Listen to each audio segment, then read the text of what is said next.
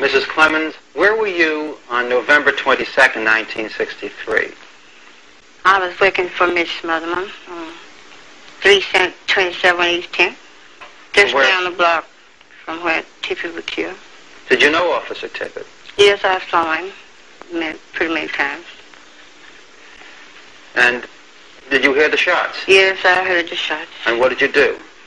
I ran out into the street and looked down the street and I ran back down the street where he was lying and I looked at him. Now, when you heard the shots and you went out of the house, did you see a man with a gun? Yes, I did. What was he doing? Oh, he was reloading it. When I said he was reloading his gun. And how would you describe that man? Well, he's kind of chunky. He's kind of heavy. He wasn't a very big man.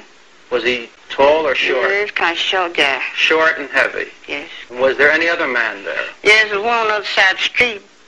All I know, he told him to go. Mrs. Clemons, uh, the man who had the gun, uh, did he make any motion at all to the other man across the street? No more told him to go. Well, he waved his hand and said, go on. go And then what happened with the man with the gun? Uh, he unloaded and reloaded. And what did the other man do? Man kept going straight down the street. And then did they go in opposite directions? Yes, they was. They they wasn't together. They went this way from each other. The one down the shooting went this way. Other went straight down past street that way. What was the uh, the man who did not do the shooting, but the man who went in the other direction from the man with the gun? What was he wearing, if you remember? Well, I first I can remember he had looked like light khakis and a white shirt. And was he tall or short? He was tall. And was he heavy or thin? He was thin. But the one who did the, the one who had the gun, seconds after Tippit was shot, he was short. Yes, was he was short and kind of heavy. Now, did you testify before the Warren Commission about this case? I haven't said anything to anyone. Did anyone come to see you after the murder of Officer Tippit? Yes, he was a man came, I don't know what he was. He came to my house and talked to me.